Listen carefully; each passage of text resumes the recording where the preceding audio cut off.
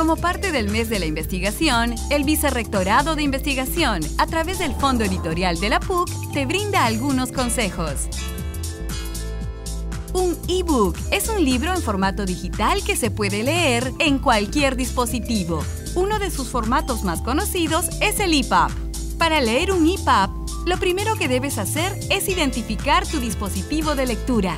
Si eres usuario de OS o iOS, busca en tu dispositivo la aplicación iBooks.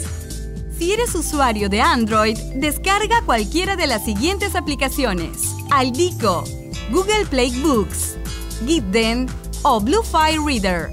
Y si eres usuario de Windows, descarga la aplicación Azardi.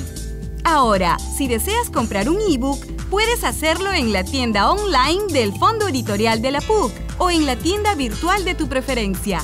Cuando compres un ebook, podrás acceder a él inmediatamente desde la misma tienda online o a través de un enlace de descarga que se envía a tu correo electrónico. Recuerda, para abrir este enlace debes tener instalados los aplicativos de lectura antes mencionados.